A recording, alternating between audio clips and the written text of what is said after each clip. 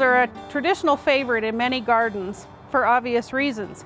But one of the features that they have that we often don't think about when we're purchasing roses is the rose hips that they have. Roses produce a fruit just below the flower. The one over here has a bright red color. We have one back here that has a cranberry red color. And these fruits from a flower in another part of the garden have a bright orange fruit on them. They're very attractive in the winter months, especially when you have a nice coating of snow around and you get the contrast between the fruit color and the snow. These are a wonderful way to attract wildlife. The fruit actually is very high in vitamin C and many of our wildlife will feed on them through the winter months. They're also something that you can use if you know what you're doing to make a tea or jams and jellies uh, if you collect the fruits.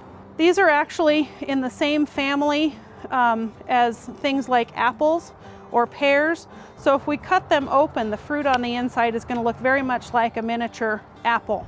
So if you're interested in attracting wildlife to your garden or maybe adding another edible plant to your garden, consider choosing a rose based on the size and color of its rose hip. For the University of Wyoming Extension, I'm Donna Hoffman, and you're watching From the Ground Up.